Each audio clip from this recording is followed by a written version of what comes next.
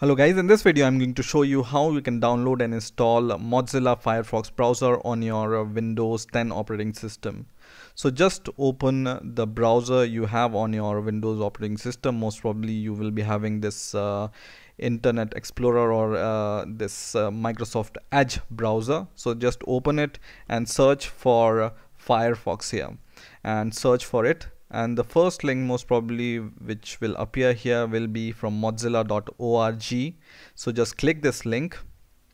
And now uh, you can see this web page.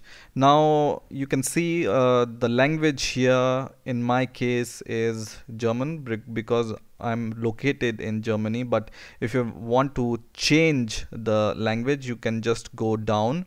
And from here you can just change the language. For for example I want to uh, have an English language browser so I can change the language from here. And now you can see it's uh, appearing in English. So you can just click free download. And it's going to download this uh, executable file. Okay?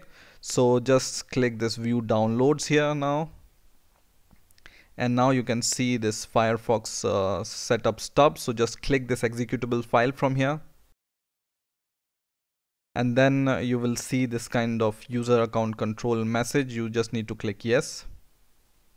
And now you just need to click install here. I will minimize my other browser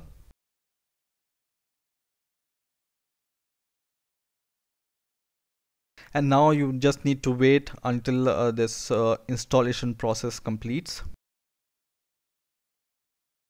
So now you can see the installation is completed and the Mozilla browser icon I can see on my desktop. So you can just right click on this uh, desktop and you can pin it to the start or pin it to your uh, taskbar like this here.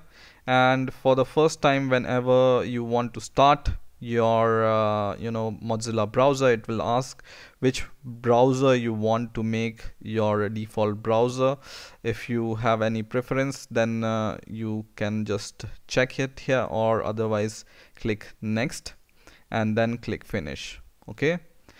And now your uh, Mozilla browser is ready to use. Okay? So just use it as you want. So i hope you enjoyed this video. Please rate comment and subscribe and bye for now